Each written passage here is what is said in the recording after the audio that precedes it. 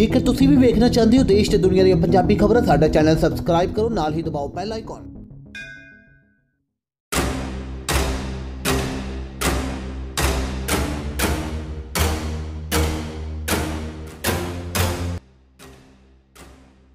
Curfew 'ਚ ਵੀ ਜ਼ਿੰਦਗੀ ਨਾਲੋਂ ਜ਼ਿਆਦਾ ਜ਼ਰੂਰੀ ਸੀ ਸ਼ਰਾਬ। ਇਹ ਤਸਵੀਰਾਂ ਜਲੰਧਰ ਦੀ 66 ਫੁੱਟੀ ਰੋਡ ਦੀਆਂ। ਇੱਥੇ ਇੱਕ ਸ਼ਖਸ ਆਪਣੇ ਸਾਥੀ ਨਾਲ ਐਕਟਿਵਾ ਤੇ ਸ਼ਰਾਬ ਲੈ ਕੇ ਜਾ ਰਿਹਾ ਸੀ।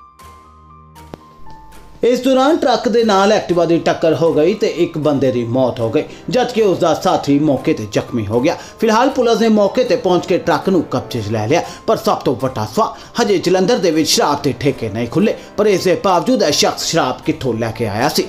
ਤੁਸੀਂ ਆਪ ਹੀ ਸੁਣ ਲਵੋ, ਕੀ ਹੋਇਆ ਮੌਕੇ ਦੇ ਉੱਤੇ? ਹਾਂਜੀ, ਸਰ, ਹਾਦਸੇ ਬਾਰੇ ਮਾੜੇ ਦੱਸੋ ਕੀ ਹੈ ਮੈਂ ASI Gurnam Singh division number 7 ਵਜੇ ਵਿੱਚ ਡਿਊਟੀ ਅਫਸਰ ਲਗਾਇਆ ਆ ਸਾਨੂੰ ਪਤਾ ਲੱਗਾ ਸੀਗਾ ਵੀ ਇੱਥੇ ਇੱਕ ਦੁਲਹਨ ਪੈਸ ਦੇ ਨੇੜੇ ਜਿਹੜਾ ਐਕਟਿਵਾ ਤੇ ਇੱਕ ਟਰੱਕ ਦਾ ਐਕਸੀਡੈਂਟ ਹੋਇਆ। ਅਸੀਂ ਮੌਕੇ ਤੇ ਪਹੁੰਚੇ ਆ ਇਹ ਐਕਟਿਵਾ ਦੇ ਦੋ ਜਣੇ ਸਵਾਰ ਸੀਗੇ।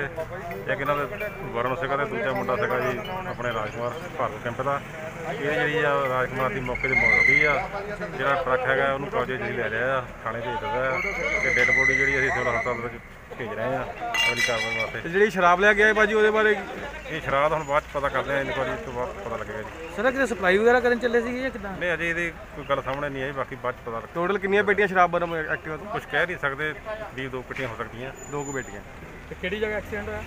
ਇਹ ਇਸੇ ਆ ਦੁਲਹਨ ਪੈਸੇ ਲਾ ਕੇ ਹੋਇਆ ਜੀ 66 ਫੁੱਟੀ ਰੋਡ ਦੇ ਉੱਤੇ। ਤੇ ਇਹਨਾਂ ਤੇ ਕੀ ਕਾਰਵਾਈ ਕੀਤੀ ਗਈ ਹੁਣ?